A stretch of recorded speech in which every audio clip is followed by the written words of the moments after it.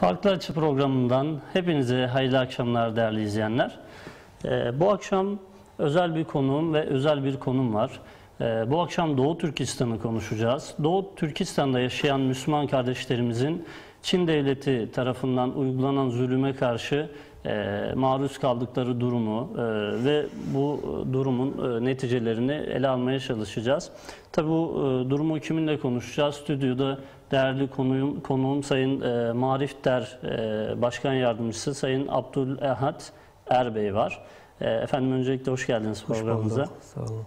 Ee, şöyle aslında şunu sorarak başlamak istiyorum ama siz dilerseniz öncelikle kendinizi bir kısaca tanıtın ardından ben sorularıma başlayayım. Tamam. Öncelikle Rehber TV'ye ve size çok teşekkür ederim. Çünkü Doğu Turistan e, unutulmuş bir durumda. Evet. Dolayısıyla sizin bu Rehber TV aracılığıyla gündem gelmesi bizi çok mutlu ediyor. E, onun için teşekkür ederim. Biz teşekkür ederiz katıldığınız için. Ben kendimi tanıtmak istersem yani Abdülahad Er Doğu Turistan Mağrip Derneği Başkan Yardımcısı olarak e, çalışıyorum. Bir radyoda da e, Doğu Turistanların sesini duyurmak amacıyla çalışma yapıyorum. E, özel bir radyoda. Evet. Türkiye'ye 2003'te gelmiştim. Hı hı. Dolayısıyla 15 yıldır buradayız.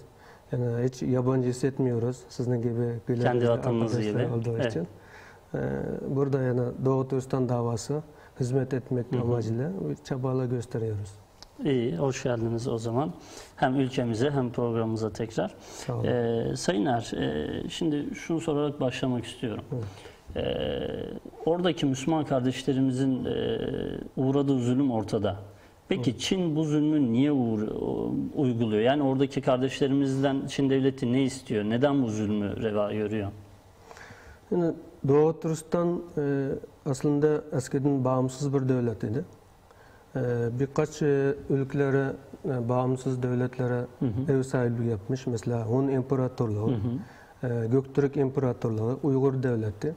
E, ondan sonra Seydiye Hanlığı, e, Karahanlar Devleti. E, onun gibi birçok ülkelere, imparatorluklara ev sahibi yapmış. Yani geçmişten bağımsız e, bir devlet olarak gelen halkta bağımsız yaşayan bir halk olduğu için Çin en son 1949'da bölgeyi işgal etti. Rus'un işbirliğiyle. İşgal ettikten sonra oradaki yer altı, yer üstü zenginliklerini sömürmeye çalıştı. 67 yıldan bu yan hala sömürüyorlar. E, oradaki yer altı zenginlikler çok yani dünyada Küveyt'ten sonra ikinci e, büyük e, petrol, enerji e, yatakları var diye. Evet. Ee, araştırmacılar öyle anlatıyor. Dolayısıyla Çin bunu sömürmek için daha çok sömürmek ya da o bölgeni ebediyen kendi işgal altında tutmak için e, Doğu Türkistan'ın yerel halklarına özellikle Uygur Türkleri, Kazaklar, Kırgızlara e, baskı ve zulüm politikası yürütüyor. E, Dolayısıyla e, Çin şu an e, Doğu Türkistan'da e, eskiden e, çeşitli zulümler yapıyordu ama o da baskı e, politikasından e, kaynaklanıyordu. Şu an e, Uygur Türklerini e, tamamen ortadan kaldırma, yok etme politikası yürütüyor. Dolayısıyla çeşitli asimilasyon yürütüyor. E, örnek alırsak şu an yani Doğu Türkistan'da e, 3 milyondan fazla e, kardeşimiz e, Çin'in e, nasıl istesem yani Evet. biz onu hapishane diyoruz Hı hı, ama Çin onu te, yapık te- Kamp, Kamp şeklinde. merkezi diyor. Evet, kamp merkezi. orada meslek ediniyoruz diyor ama o yalan yani hepsi yalan. Çünkü e, oradaki oradan bize gelen görüntülere bakıldığında, orada gelen tanıklarla konuştuğuna bakıldığında o resmen bir işkence kampı yani Nazi style işkence kampı olduğu için e, Çin onu inkar etmeye çalışıyor. Şu an e, dünya kamuoyunda bu konuda bayağı e, gündeme geldi. E, yani Çin açıkça Doğu Türkistanlarını yok etmek için, asimilase etmek için e, zulüm ediyor. Yani oradaki haritada orada bir bölge halklar olmasın, sadece Çinli olsun, Çinli yaşasın e, ya da yok olsun diye o onun için e, zulüm ediyor yani Doğu Türkistanlar. Peki şimdi e, Doğu Türkistan dediğimiz coğrafya birkaç etnik unsurdan oluşuyor. Yani sadece Uygurlar yok bildiğim kadarıyla. Evet. Kırgızlar da var, Kazaklar da var. E, Oradaki nüfusun dağılımına baktığımız zaman ne kadar yüzde kaçı ya da ne kadarı e, Uygur, ne kadarı Kazak e, bunu söyleyebilir misiniz? Tabii yani Doğu Türkistan'da e, çoğunluğu Uygur Türkler olmak üzere Kazaklar var, Kırgızlar var, yani e, Tatarlar var, Özbekler, e, onun gibi yani Tungallar da var mesela bizde Çinli Müslümanlar da var. E, onun gibi yani e, yerel millet dediğimiz 12 millet var Evet, orada. evet. Onlardan çoğunluğu yani Uygur Türkleri. Yani Çin'in e, resmi statüsünde e, şu an bölgede 21 milyon e, insan yaşıyor diyor. Ama bunun e, 10,5-11 milyon civarında Uygur Türkiye diyor. Değerlerini yani dağıtıyor. Mesela Kazakların 1 milyon 600 bin diyor. Kırgızların 800 bin diyor. Özbeklerin 10 bin diyor. Onun, onun gibi yani e, ama 9 milyon Çinli var diyor. Evet. Evet bu biz buna katılmıyoruz. Çünkü bölgede şu an 40 milyon e, Doğu Türkistanlı yerel halk var diye e, bizim araştırmacı e, uzmanlarımız bunu iddia ediyor. Dolayısıyla e, yani biz bunu nasıl bunu neye göre öyle diyoruz dersiniz? Mesela 1948'de e, Doğu Türkistan'da e, 13 milyon Uygur Türk olduğunu e, bizde kaynaklar var. Yani o zamandaki e, yerel halklar mesela okullarda e, kitaplar, ders kitaplarında 13 milyon Uygur olduğunu yazmışlar. Evet. E, dolayısıyla e, o zaman da Çinlilerin 208 bin Çinli olduğunu söylemiş. O da zaten işgal için gelen yani çoğu asker kaynaklı evet, insanlardır. E, ondan sonra yani Çin bu sayılarını e, bir kısmını imha ederek yok etse bile e, çoğunu saklıyor. Yani Evet. gerçek dışı bir sayıyla o bölgede sadece 10,5-11 milyon civarında Uygur var diyor.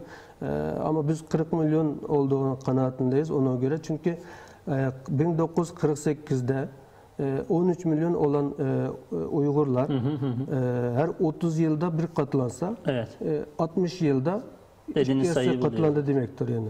Yani 40 milyondan fazla oluyor.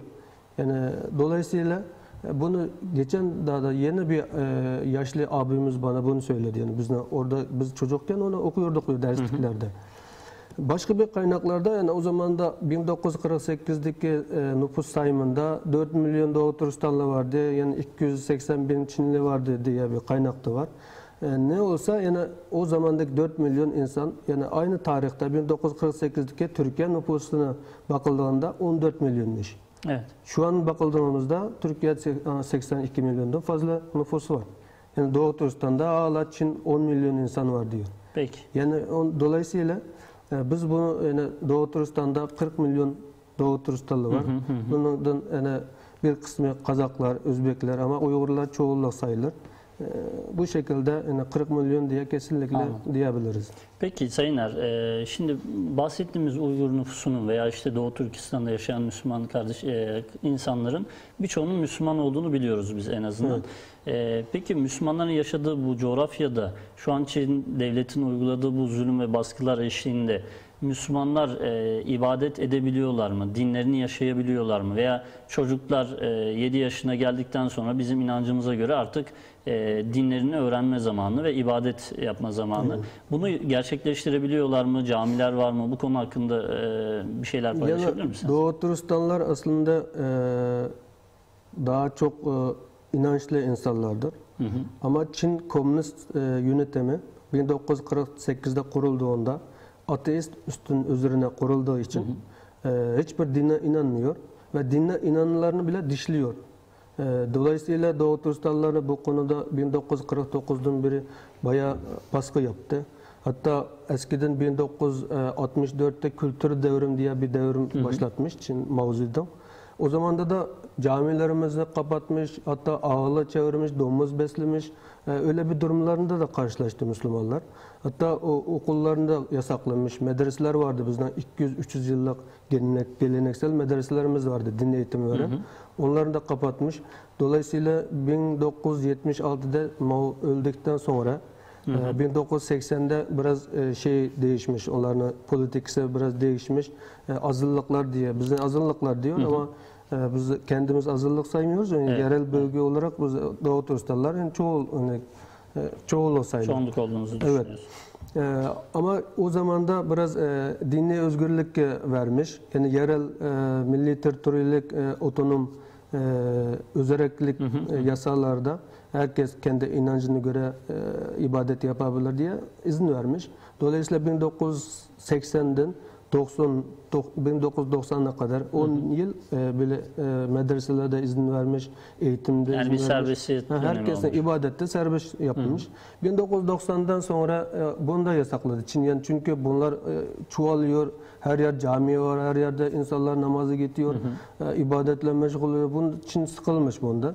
Yani hatta bundan e, 1990'da orada bir e, bölgede yani Kaşgar'ın Barın bölgesinde bir ayaklanma oldu. Çin işgala karşı.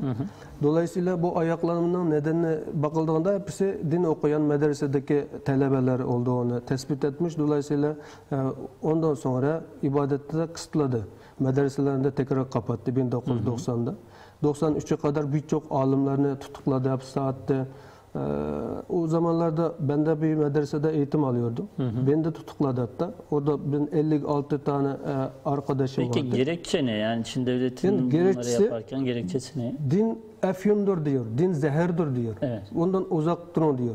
Yani kendisi inanmadığı için bizim de inan, inancımızdan vazgeçtirmeye çalışıyor.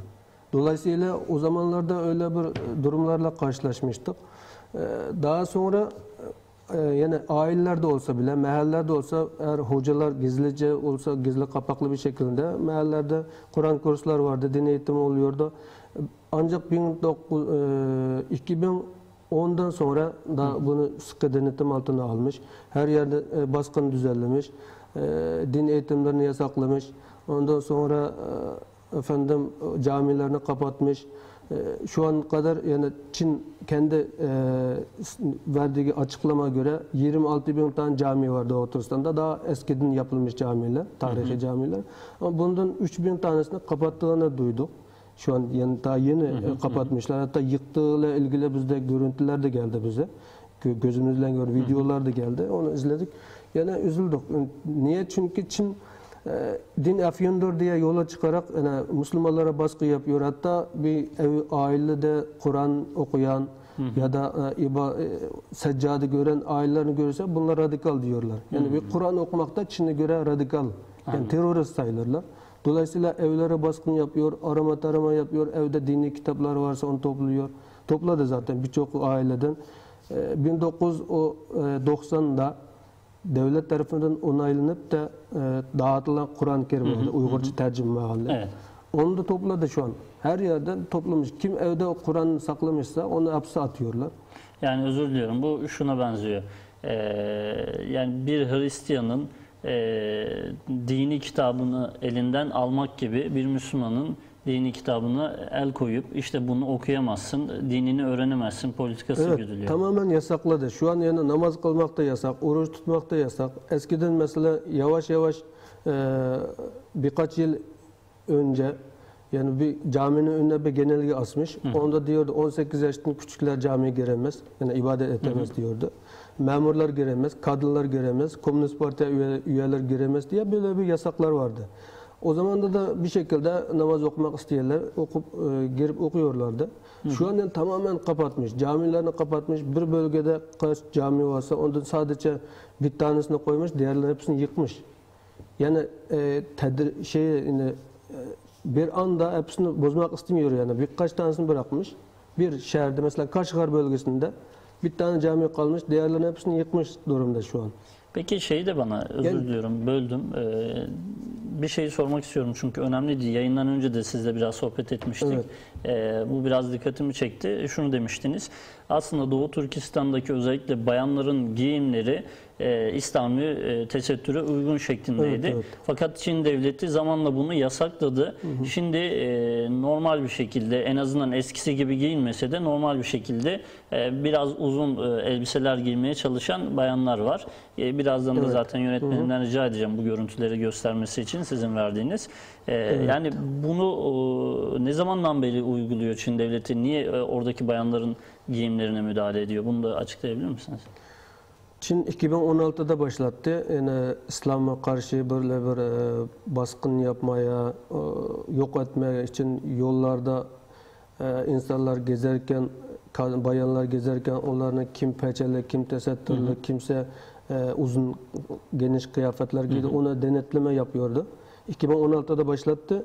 Yani bu da yani İslam'a e, yapılan bir e, hücum diye Evet, düşünüyoruz. Saldırı yani. İslam'a karşı bir saldırı.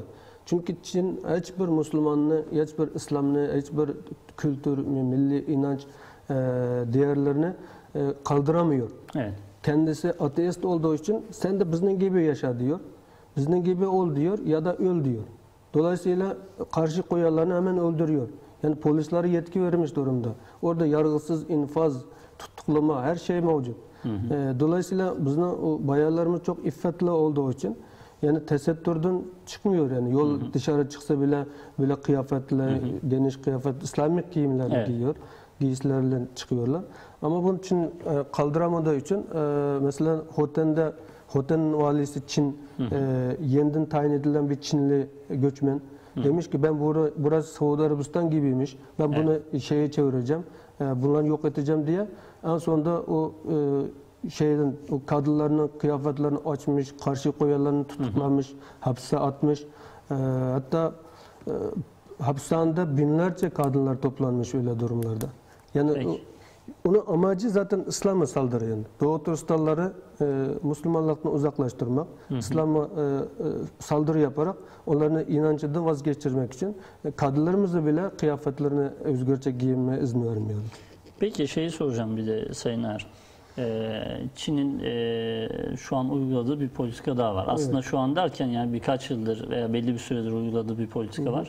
Her Doğu Türkistanlı aile e, bir Çin vatandaşı, bir e, çocuk, erkek, kadın fark etmeksizin bir Çin vatandaşını e, zorunlu olarak yerleştiriyor Evet. ve e, bu aile içerisinde yaşıyor. Biz de hani biliyoruz ki Müslümanların e, aile toplum yaşantısına uygun olmayan bir durum bu. Yani bir tanımadığınız insanın sizin ailenizde bulunması, e, onunla beraber yaşamanız bizim hani e, Müslümanlar olarak kabul edebileceğimiz bu durum değil. Bu durum e, Doğu Türkistan'da nasıl, nasıl yaşanıyor? Yani oradaki aileler o gelen Çinli insanla yaşayabiliyor mu? Ne tür zorluklar yaşıyor? Biraz da bunları anlatabilir misiniz? Tabii yani Doğu Türkistan'da e, Uygurların e, dini, kültürü, dili her şeysi Çinlerden farklı. Hı hı. Dolayısıyla e, evde değil, sokaklarda bile bir Çinlilerini görürse nefretle bakıyorlar. Çünkü onlar işgalci olduğu için. Hı hı. E, onların istemiyorlar. Her yerde istemiyor yani. İstemeyen bir şahs aslında zorla geldiği için. E, ama son zamanlarda özellikle 2017'den itibaren bu her aileye bir tane Çinli yerleştirme politikası. Bu da yine e, akraba projesi adı altında yapıyorlar. Yani her aileye, her Uygur aileye, her Müslüman aileye bir Çinli kafirini yerleştiriyor. E, bu da kabul edilemez bir durum aslında. Evet. E, Çünkü bu insanların bir e, a, a, iffeti, burası bir mahremiyeti Evet, orası. evet. Oraya girmesi insan yine ölüm demektir yani. E, Ama bunu yapıyor Çin şu an. Neden yapıyor? Çünkü buraya yerleştiren insanların birçoğu zaten Çinli ajanlar diyebiliyoruz biz. Yani o ailen denetilmek için. Yani ben de, demin de söylediğim gibi e, Çin oradaki İslam'ı kaldırmak, Müslümanları yok etmek için, e, kültürümüzü yok etmek, dinimizini, dilimizini, yok- dinimizini, dilimizini yok etmek için böyle bir pol- politika yürütmüş. Bunun bir tanesi yani şu an her ailen denetilmek zorunda kalıyor. Denetlemek için aileye o e, akraba projesi adı altında bir tane Çinli gönderiyor. Yani bir denetleyici Evet, göndermiş oluyor denetleyici aslında. gönderiyor. Onu denetle, denetleyici demiyorlar. Yani akraba olacaksınız, bu- bununla beraber yaşayacaksınız diyor. Yani 15 gün kalıyor diyor. Tamam diyor, karşı koyanların hepsi atıyorlar. Hatta saldıranlar var-. Yani bazı kadınlar saldırmış, bazı Çinlerini oradan yok etmiş, yani imha etmiş. Dolayısıyla o da e, e, şehit edilmiş durumlarını da duyduk biz mesela. Yani karşı çıktığınız Evet. zaman ben bu insanı evimde istemiyorum dediğiniz zaman da bir yaptırım Evet ya hapse atarlar ya da öldürür hemen yani polis gelip polisler orada yani serbest yani kimse atsa yani bize hükümete devlete karşı koydu deyince kimse sormaz orada orada bir şey yok yani. Dolayısıyla e, onlar yerleştikten sonra ne yapıyormuş? E, Benim duyduğum kadarıyla onlar ilk geldiğinde akraba falan diyor ama o e, 24 saat o ailenin kim varsa hepsini denetliyor. Yani onların amacı bu ailede yani e, inançlı insanlar var mı yok mu? Yani şuurlu m- millet şuuru olan öyle kültürel insanlar var mı yok mu? Onlar istemiyor yani kal- onu yok etmek için bunu denetliyor. Dolayısıyla yani Komünist Parti'yi seviyor mu sevmiyor mu? Devletten destekliyorum desteklemiyorum diye e, öyle denetleme yapıyor. O kendi ellerinde şeyler varmış. E, anketlerine geliyormuş. Onu dolduruyormuş. ismini yazıyor. isminin e, karşısında doldur doldur. Bu e, şu ailedeki şu şahıs şöyle şöyle ya namaz kılıyor ya kılmıyor ya da e, inançlı ya inançsız e, ya da bize e, devlete karşı şuurlar var falan diye o yazılıyor. Yazdıktan sonra 15 gün sonra gidiyormuş hemen ertesi gün şey geliyor o aileye. Mesela rapora göre hangi aile eğer bu ailede bir dini inanç var ya da kültürel şeyler var e, Komünist Parti'ni desteklemiyor ya devlete karşı şey fikirler var deyince o aile polis baskın düzenleyip de şey götürüyor mesela e, o ceza kampına götürüp orada e, e, orada orada tutukluyorlar. Özür diliyorum. Şimdi Çinli aile demişken e, yönetmen arkadaşımdan rica edeceğim. Her aile yerleştirilen Çinlilerle ilgili bazı fotoğraflar paylaşmıştı. Evet. Onları ekrana getirebilirsek e, değerli izleyicilerimizle de paylaşmış olalım. Evet. Çünkü orada gerçekten bir e, kontrol, bir asimilasyon çalışması, bir e, Müslümanların aile yapısının bozulması e, tarzında şeyler hedefleniyor. Tabii bunlar da e, dediğiniz gibi bize uygun yani Müslümanlara uygun olmayan şeyler. E, bunları da birazdan e, dediğim gibi ekrana getireceğiz. E, peki şunu söylemek istiyorum. Şimdi e, dediğiniz bu Çinli e, insanlar ailelere yerleşti. Belli başlı notlar aldı sizin Evet. söylediğiniz anketlere göre. Bu e, anketler de sanırım Çin hükümetiyle paylaşılıyor. Evet. E, bundan sonra süreç ne oluyor? Yani o aileye nasıl bir yaptırım uygulanıyor? Ailene o ankete göre e, mesela o eğer o ailede inançlı insan var onu ya da e, değiştirilmesi gerek ya da e, yapık terbiyeleş merkezine götürmesi lazım diye yazılsa oraya polis gelip baskın yapıyor. O Evet, ailedeki Özür diliyorum. Şimdi e, yönetmen arkadaşım e, yansıtıyor ekrana. E, gördüğümüz e, sağda duran Çinli sanırım e, aile yerleştirilen. Evet. Ve zaten e, resme baktığımız zaman ailenin çok mutlu bir e, portresi yok. Yani herkes oradaki insandan rahatsız durumda e, fotoğrafa baktığımız zaman. E, bu hani bir anlamda da sanırım psikolojik bir savaş. Yani oradaki Tabii, tabii. ailenin moralini bozma, e, psikolojik olarak yıpratma ve ona e, bunu bu yaptırımı uygulama. Buyurun özür diliyorum. Tekrar devam edin siz. Evet onlar zaten oraya geldikten sonra hiç kimse istemiyor. Yani ben dediğim gibi sokaklarda bile Çinlerini görünce nefret ediyorlar ama bu bir ailenin kabul edilmez bir durum aslında. Yani dolayısıyla orada e, 24 saat kalıyor hatta beraber uyuyormuş yani bu görüntülerde var. Beraber e, yatakta kalıyorlar hatta. Yani bazı ailelere e, bayanlar yerleştirirse bile bazı ailelere erkekler yerleştiriyor. evet. O erkek erkek yerleştiriyor o Uygur ailede erkek yok mesela. E, O ailenin erkeğini Çin ceza kampına götürmüş, tutuklanmış durumda. Ama orada çocuklar var, eşi var. Orayı bir erkek yerleştiriyor. Bu yani nasıl insan kabul edemez bir durum yani. Biz inançlı insanlar yani İslam'da böyle bir şey haram aslında. Evet, Bu sadece bayanların yaşadığı bir eve Aha. bir erkek bir gönderiyor. erkek yabancı bir erkekle oraya yerleştirilmesi haram. Yani İslam'da bu o, o insanlar da onun bizim Müslüman e, kardeşlerimiz de bu inançla büyüyen, inançla yaşayan bir insanlar.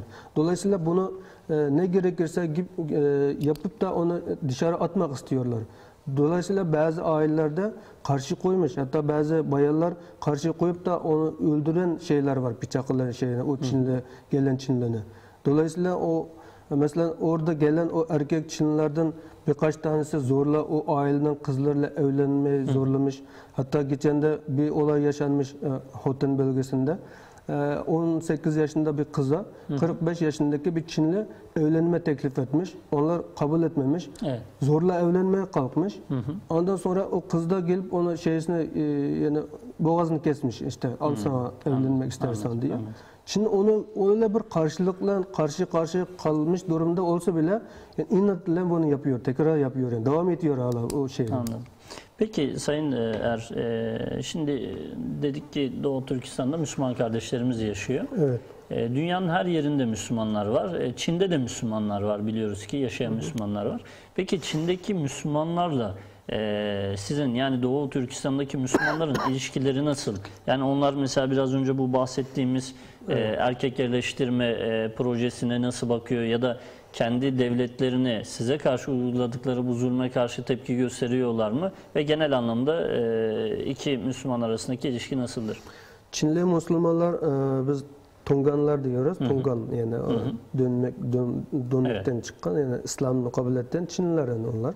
Evet. Ee, onlarla bizden e, Doğu Türkistanlarla pek arası iyi değil. Yani çünkü geçmişte tarihte bir olaylar yaşandı.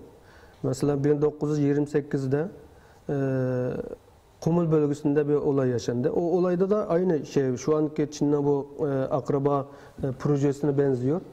O zaman da e, Kumul'un valisi Çinli.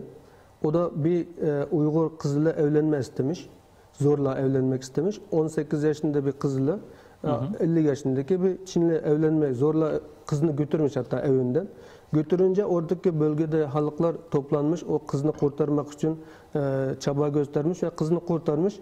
Ama o e, valinin e, polisle, askerler karşı koyunca o olay bir isyana dönüştü. İsyana dönüştükten sonra resmi silahlı çatışmaya dönüşmüş. Böylelikle oradan Çinlilerini kovalamış. Yani oradan Çinlilerini yok ederek Evet. Kumul bölgesi özgürlüğe kavuşmuş. Tümür Halpa adı altında bir e, ko- komandanın önderliğinde. Böyle bir olay yaşandı. Ondan sonra e, o olaydan sonra o bölgede mesela Çinliler e, onlarla konuşmak, masaya oturmak istemiş. Dolayısıyla buna bir Tungan aracılığı yapmış. Hatta gelip de o bizden o Tümür Halpa diye komandanımıza, o önderimize demiş ki sen onlarla masaya oturursan e, onlar sana şöyle şöyle şeyler tanıyacak, hukuk tanıyacak, hiçbir zarar gelmeyecek. E, Ben ona şahidim falan garanti vereceğim diye. Hatta Kur'an'la yemin etmiş. Kur'an'ı göstererek ben de Müslümanım, sen de Müslüman. Sana hiçbir zarar gelmez. Sen sadece masaya oturup hukuk onu al oradan. Yani bu böyle güzellikle bitsin diye aracılık yapan bu şahs Tungan. Evet. Yani Çinli Müslüman Kur'an'la yemin etmiş. Oraya gittikten sonra Tömür Halp'ını o Çinlerle buluştuktan sonra tutuklamış. Yani hıyanet etti orada. Yani şunu mu anlıyoruz? Ee, Çinli Müslümanlar aslında göründüğü gibi e, değiller. Evet. Yani Müslümanların yapılması gereken hareketleri, davranışları sergilemedikleri için Evet. e, Doğu Türkistan ile Çin Müslümanlar arasında iyi bir ilişki yok anladığım Evet, tarihte öyle bir olay yaşandığı için bizimkiler e, o Don- e, Çinli Müslümanları pek sevmiyorlar. Çünkü onların zaten sadece Çinlilerden farklı namaz kılması, ibadet etmesi yani Evet, e, evet. kendisi Müslüman sayması ama başka kültürel din açıdan hepsi aynı yani Çinli. Yani bir da başka bir olay yani 1933'te Doğu Türkistan İslam Cumhuriyeti kurulmuş Kaşgar bölgesinde. Kurulduktan sonra orada yani bağımsızlık ilan edildi, Cumhurbaşkanımız tayinlendi, o da sabıtam olan başbakan o da e, dünya her yere şey gönderdi Doğu Türkistan bağımsız devletin tanıması için. Bu böyle bir durumdayken yani orada Macunyi diye bir e, e, Çinli Müslüman Tungan birkaç bin tane e, askerlerle oraya baskın yaparak bu devletinde Tungalar imha etti. Dolayısıyla yani o iki olay bizni çok sarsıldı. Dolayısıyla onların e, Müslüman olduğuna ya da onların yani pek e, insanlar sıcak bakmıyorlar. Yani çok da samimi bulmuyorlar. Evet, samimi onu. bulmuyorlar. Yani bunlar ağızda başka konuşuyor, kalbinde başka şey var diye. Dolayısıyla onlarla şu anki irtibatımızda yani pek, pek sıcak değil.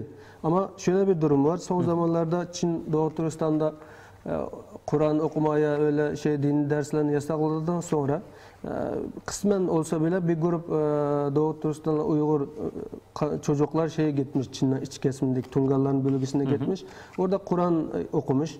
Yani onlar da ona karşılamış, iyi bakmış, hatta sahip çıkıp da din eğitimi vermiş. Böyle bir durumlar da oldu. Son zamanlarda olmuştu. O da zaten 5-6 yıl önceki durum.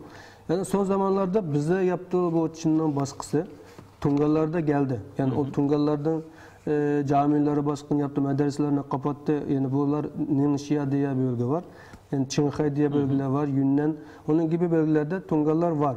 Yani bu Çinli Müslümanlar. Onlara da yani Çin bitir eskiden hiçbir yasak yoktu onlara. Bizden daha özgür ibadet ediyordu. Özgür istediğin gibi faaliyet, dini faaliyetler yapıyordu, etkinlik yapıyordu. Ama şu an e, onlara da biraz yasak koymuş. E, bazı bölgelerden görüntüler gördük. Camilere baskın yaparak e, öğretmenlerin tutul, götürdüğünü, görüntülerini gördük. Yani demek onlar da Çinliler de, Çinli Müslümanlar da Anladım. yine bu konudan e, o Çin'in baskısından nasibini almış. Peki Sayın Er, e, şimdi e, bir durum daha var. Şöyle ki e, Doğu Türkistan'daki kamplar. Yani e, tabii biz kamp diyoruz ama siz e, çok kamp Yani olarak hapishane diyebiliriz. Evet, yani. hapishane olarak Evet. nitelendiriyorsunuz. Ee, şimdi yönetmen arkadaşım tekrar ekrana getirecek o kampa ait görüntüleri. Yani e, ben de gördüm görüntüleri. E, kampa ait herhangi bir esare yok. Çünkü insanlar e, hücreler gibi, aynen hapishanede olduğu gibi hücrelere doluşturuluyor veya toplu şekilde e, bazı durumlara maruz kalıyorlar. Evet. Ee, şimdi hem bu kamplara bir değinmenizi isteyeceğim hem de bu kamplara atılıp daha sonradan tutuklanıp cezaevlerine gönderilen, bu cezaevlerinde uzun süre tutuklu bulunan ve e, son e, geçtiğimiz hafta yine gündeme geldi. E, sizin alim olarak gördüğünüz Evet, din. Sayın evet din alimi Şeyh Muhammed Salih e, şehit edilmiş 82 yaşında.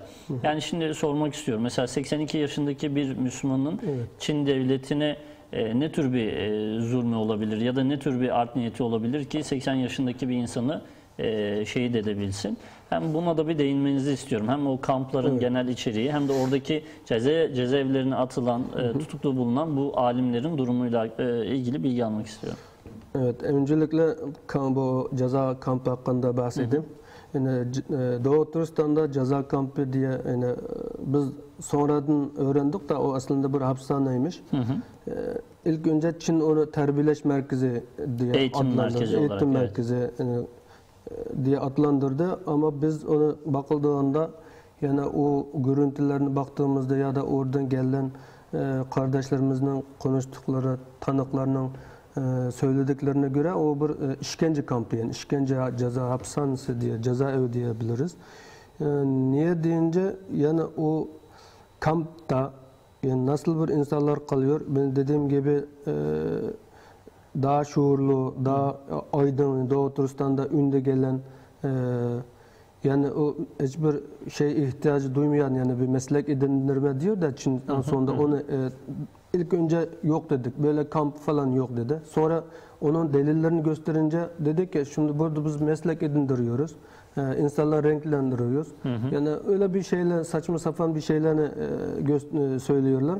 Bunda yani inanmıyoruz biz. Çünkü orada gelen tanıklarının söylediğine göre e, o bir işkence kampı. Yani onların amacı yani Doğu Türkistan halkını dinden, dinin dilinden, kültüründen uzaklaştırarak yani kendisi gibi bir ateist yapmak istiyorlar.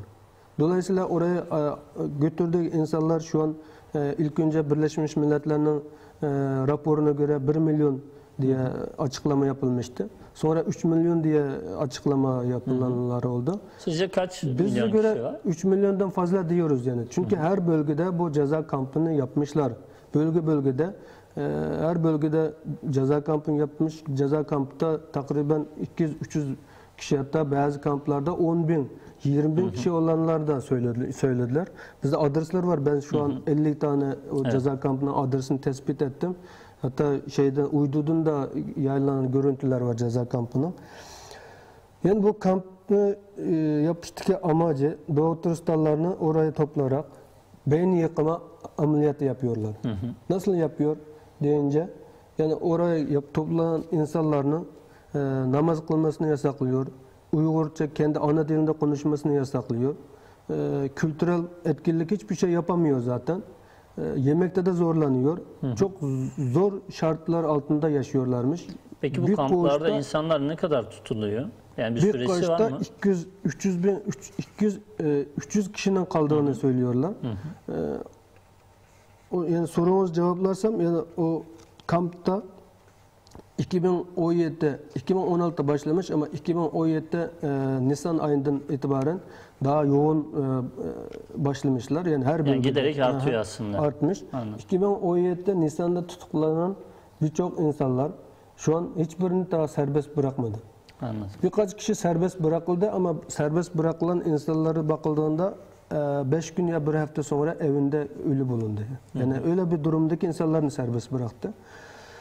Yani o işkence kampında neler yapıyor dersek Doğu Türkistanlıları orayı aldıktan sonra e, onların e, işkence e, yani sabahtan akşama kadar bu Mao'nun yazıları var. Komünist ideoloji içeren e, ateist e, içerikli şeyler yazılarını ezberletiyormuş Çince. Onu ezberleyemeyenlere yemek vermiyor, vermiyormuş. Yani e, kim ezberlese onu şey tamamlamış. Yani yenisini eklermiş. Evet. Bunu ezberleyeceksin diye. Yani o ezberlikli şeyler hepsi komünist ideolojisi. Yani daha önceden yani dünyada çürümüş yani kabul edilmez bir şey yani. Ama bizden inançlı insanlarımız onu zaten e, içinde kalbinden kabul etmez ama zorla ezberlese bile Evet. yani inancından vazgeçmezler. Tabii. Ama Çin onu yapıyor yani bunların inancından vazgeçtireceğim. Ee, e, kendi milli kültüründen vazgeçtireceğim ki bir Çinli olarak yaşasın ya da yok olsun diyor.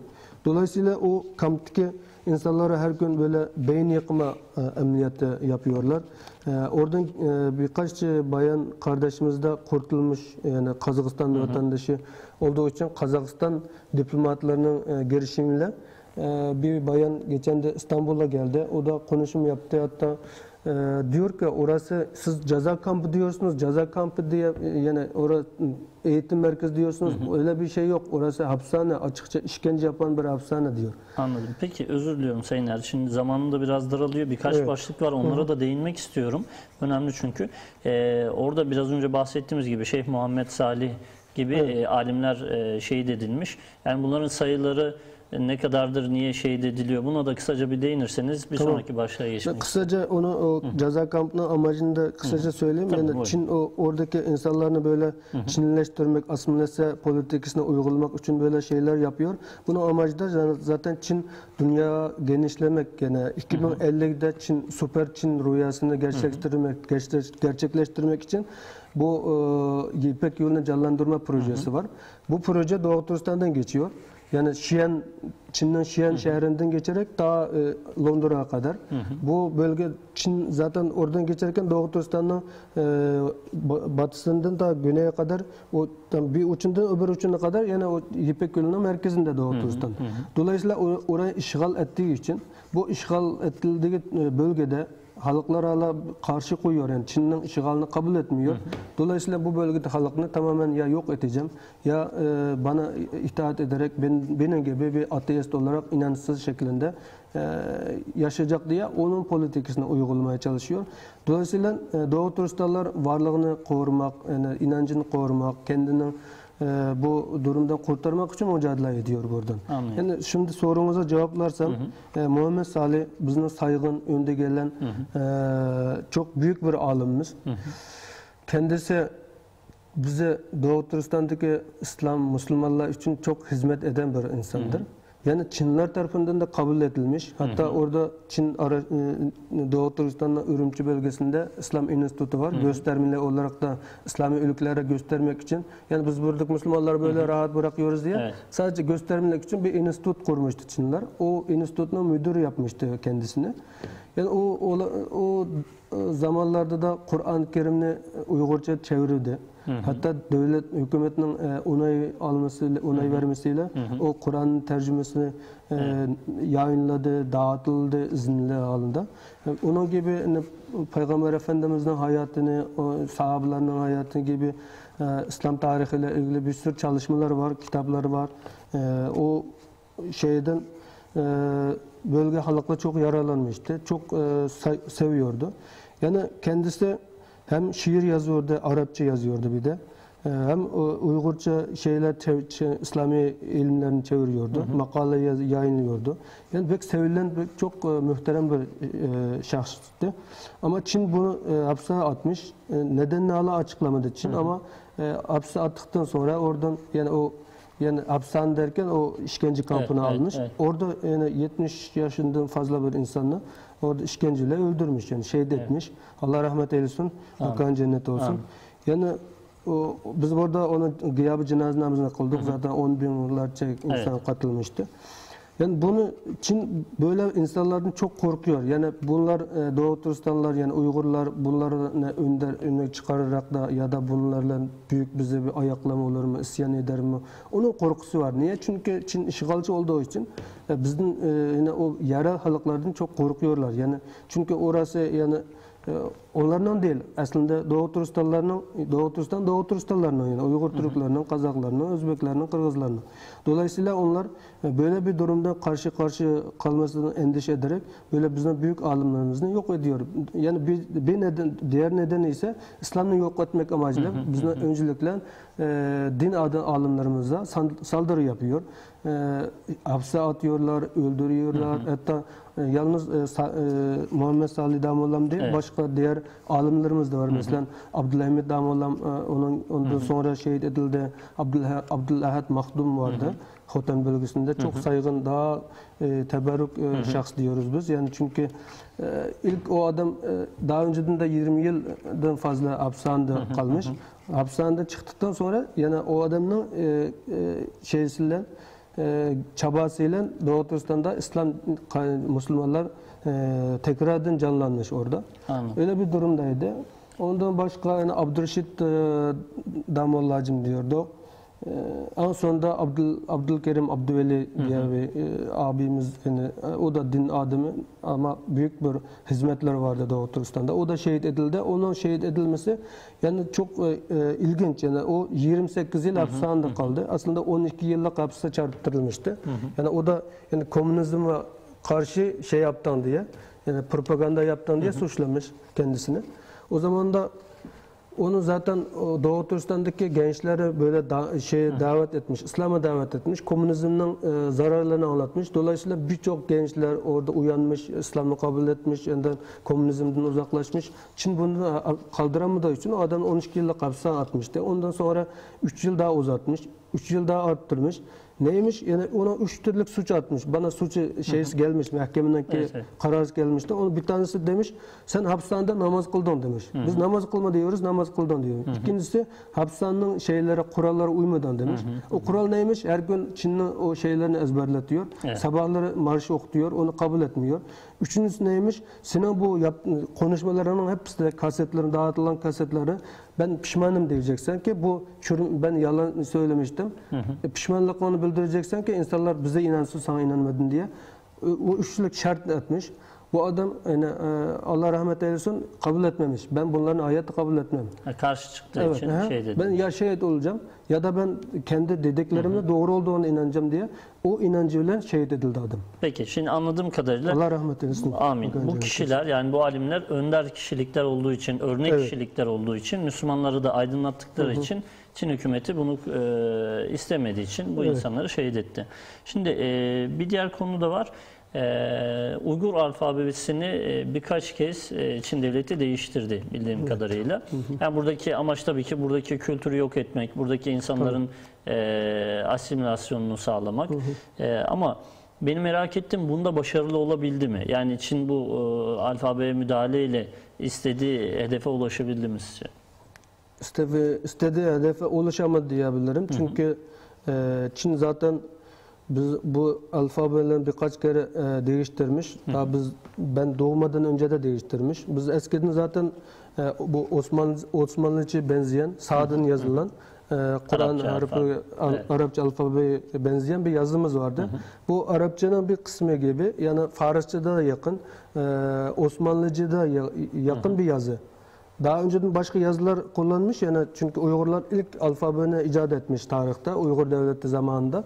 Ee, o zamandan itibaren başka bir yazı kullanmış kendisi icat ettiği yazılarını ama şu an e, ondan sonra Çin işgal ettikten sonra da bu yazılar Saad'ın yazıldığı için yani bakıldığında Arap ülkelerine benziyor. Dolayısıyla Çin bunu e, değiştirmiş yani Latin yazına değiştirmiş. E, değiştiriş amacı zaten e, Uygurlarını, Doğu Türkistanlarını, şeysini, tarihini unutturmak, kültürden uzaklaştırmak amaçlıyor. Ama Latin yazını değiştirdikten sonra bir o da 1964'te La- yazı değiştirilmiş. O zamanlarda bakmış yani o İstanbul'dan gelen bir gazeteni rahatça okuyabilirler. Sonra e, bir bakmış oradan gelen kitaplarını da da Uygurlar da okuyor. Ve bunlar yani Türklerle daha yakın şey olacakmış o zaman diye. Ee, o yazında tekrar yani eski yazımız diyoruz biz yani bu e, Arap alfabesi olan yazıları değiştirmiş 1960 64 değiştirmiş tekrar yani 1980'de tekrar değiştirmiş yani bu yazını. Latin yazı al- e, bu Arap yazı, Latin yazı, Arap yazı. 1980'den sonra bu şey yaygınlaştı. E, bizim şu anki kullandığımız Arap alfabesi ya sağdan yazılan yazılar uyu- e, yaygınlaştı. Dolayısıyla ondan sonra e, sek- 90 90. yıldan sonra birçok alimler mesela hapiste atılan yazarlar e, serbest bırakılmış, onların yazılmasına izin verilmiş. O arada birçok e, yazarlar mesela edebiyatçılar e, ortaya çıkmış. Onlar romanlar yazdı, şiirler yazdı. Hatta bizden şu an o, o yazdığı romanların birçoğu da bizim tarihimizin söylüyorlar. Bizden gerçek tarihimizni Çinliler hiçbir zaman kabul edemiyor. Çünkü 1933 ve 1944'te e, kurulan ben e, Doğu Türkistan e, devletini kabul etmediği için tarihimizin de bormunu siliyorlar. Dolayısıyla bu romanlar yazıyor yazarlar. Yazarken tarih demiyor ama roman yani hayal diyor ama gerçek şeyler yazıyor. Oradaki bizim tarihimizin yazıyor.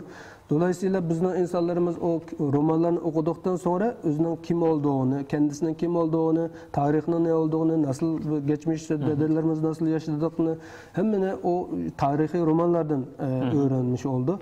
Dolayısıyla yani Çin bu yazılan değiştirerek e, bizim kültürümüzü, dinimizin, tarihimizi yok edemedi. Yani insanların kalbinde e, tarih var, kültür var, yani inanç var. Hala yani bunun mücadelesini veriyoruz. Yani çok da başarılı olamadığını Başarılı düşünüyorsunuz. olamadı yani. Peki. Şimdi e, zamanımız da daraldı. Son birkaç Evet. dakikamız kaldı. Sizden şunu rica ediyorum. Şimdi Türkiye'de son zamanlarda biraz önce dediğiniz gibi e, gıyabi cenaze namazları kılındı. Çeşitli illerde yürüyüşler yapıldı. Protestolar yapıldı. işte başkonsolosluklarda. Hatta en son iki vatandaşını sanırım İstanbul'dan Ankara'ya yürüyüş gerçekleştirdi. Evet. Şimdi e, sizce yapılan bütün bu protestolar, bu basın açıklamaları e, bir e, tepki, etki tepki uyandırdı mı? Yani bir karşılık buldu mu? E, bir de hani buradan e, hem Türkiye'deki hem dünyadaki diğer Müslüman kardeşlerinize iletmek istediğiniz, Doğu Türkistan'la ilgili iletmek istediğiniz mesaj varsa bu ikisini de değinirseniz programımızın kapanışına gideceğiz. Evet yani biz e, Doğu Türkistan'da baskı, zulüm arttığı için biz de burada etkinliklerini daha çoğaltmaya çalıştık. Bütün buradaki Türkiye'deki Doğu Türkistan dernekler olsun ya da onun gibi duyarlı e, kardeş dernekler olsun hepsi yani bu konuda ardı ardından etkinlikler e, yaptı ve yapıyor şu anda da yapıyor. E, bunun etkisi yani oluyor mu deyince e, halkı e, göre oluyor yani biz bu halkımız zaten e, Türkiye halkı Doğu Türkistan halkıyla kardeştir yani geçmişimiz aynı, tarihimiz, dinimiz, dilimiz aynı. Evet. Geçmişe bakıldığınızda Uygur tarihi dersiniz, Türk tarihi dersiniz hepimizin tarihi aynı çıkıyor. Evet. Başka bir şey yok ortada. Hunlardan başlayan daha Göktürk, Karhanlar diyoruz. Hepsi yani hepimizin tarihi geçmişimiz. Dolayısıyla buradaki kardeşlerimiz yani bizni destek amacıyla kardeş derneklerde, toplumda bayağı şey var, tepki var şu an Çin'den bu zulüme karşı. Ee, bizim bu etkinliklerimizin yanısı da demiyorum. Yani Çin'den oradaki yaptığı zulümden e, kaynaklanıyor. Zulümünü biz de duyar, e, duyurduğumuz için buradaki halkımız da onun karşılığında sokaklara çıkıp etkinlik yapıyor, basın açıklaması yapıyor, konferanslar düzenliyor. E, biz bundan e, memnun oluyoruz. Yani şu an e, ismini saymışsam bile hepsine teşekkür ederim burada Doğu Türkistanlı olarak. E, yani biz bunu ama biz bunu ha, toplumdan da beklediğimizni görüyoruz. Destek veriyor. Ama biz bu e, devletimizden, hükümetten daha çok e, beklentimiz vardı aslında. Çünkü e, devlet, hükümet resmi kaynaktan bir açıklama yapsa, bu konuda girişimde olup da oradaki zulümünü durdurabilirse e, biz bunu e, ümit ediyoruz aslında. E, Biz bunu göremiyoruz. E, Belki hükümet e, Çin'le olan ilişkilerini bozmak istemiyor o- olabilir. Çünkü bayağı oldu biz o konuda bayağı çağrı yaptık hatta talepte bulunduk ama hiçbir e, ses, ses çıkmadı şu ana kadar. Suskunluğunu koruyorlar. E, ama biz yani bunun e, biz ne diyelim yani biz o devlet devlet yani hükümet hükümettir. Onların bir düşündükleri vardır diyebiliriz ama e, ben de yine, yine de çağrı yapıyorum buradan. Evet. Yani bizim Doğu Türkistanlılarının oradaki şu anki sıkıntıları Suriye'dekinden, Filistin'dekinden daha ağır. Evet. Dolayısıyla bir sesini çıkarmasını. Yani Cumhurbaşkanımızdan özellikle bu konuda Çin'e e, bir karşı çıkın demiyoruz. Sadece oradaki bizim kardeşlerimiz ne yapıyorsunuz, bu doğru mu yaptıklarınız diye bir soru sormasını istiyoruz yani. Niye? Çünkü e, 2009'da Ürümçi katliamı yaşanırken Çin orada da zaten e, 5 milyondan fazla kardeşimizi şehit etmişti. 10 milyondan fazla protesto yapan, hakkını arayan insanların da hapse atmıştı. O zaman da e, bö- bölgeler tam arama tarama yaparak, e, askerler baskın yaparak, operasyon yaparken e, Cumhurbaşkanımız o zaman da başbakandı. Şöyle dedik yani bu Çin adeta bir soykırım yapıyor. Ben bunu Birleşmiş Milletler taşıyacağım. Evet. Bu e, sessiz kalmayacağım deyince Çin hemen ertesi gün askerlerini o bölgeden çekmişti. Böylelikle on binlerce insan yani Çin'den katliamdan kurtulmuş oldu. Biz bunun için Cumhurbaşkanımıza buradan da teşekkür etmek istiyorum. Yani Allah razı olsun kendisinden. Yani şu anda da aynı durumla karşı karşıya kalıyoruz ama yani Cumhurbaşkanımız sesini çıkarmasını, bu konuda e, sessiz kalmas, kalmamasını e, talep ediyorum kendisinden. E, özellikle Türkiye halkına destek vermesini, daha çok etkin olmasını bu konuda e, yani Çin'de bir e, ambargo uygulamasını e, istiyorum. Çünkü Çin e, şu an e, başka bir şekilde durdurulamaz. Çin şu an açıkça Uygurlarını, Doğu Türkistanlarını yok etmeye çalışıyor. Haritadan silmek istiyor. Yani bu bir millet yok olma tehlikesiyle karşı karşıya kalırken burada bizim sessiz kalmamız bu hem Türklük acıdan hem Müslümanlık acıdan hem bir insanlık acıdan doğru olmaz. Yani bunun için e, tüm e, e, Türkiye kamuoyunu ve Türkiye hükümetinin yetkilileri, siyasi partileri, sivil toplum kuruluşlarını, tüm kardeşlerimizle bu zulümü durdurmak için sesini çıkarmasını çağrıda bulurum. Peki. Ee, değerli izleyenler, Marif e, Derneği Başkan Yardımcısı Sayın Abdülahad Er Beyefendi ile birlikteydik. Ee, Doğu Türkistan'daki zulmü paylaştık. Doğu Türkistan'da Çinlilerin e, Müslümanlara, soydaşlarımıza uyguladığı zulmü paylaşmaya çalıştık. Ee, bir başka programda görüşmek üzere. Hepinize Allah'a emanet ediyoruz. Hayırlı akşamlar.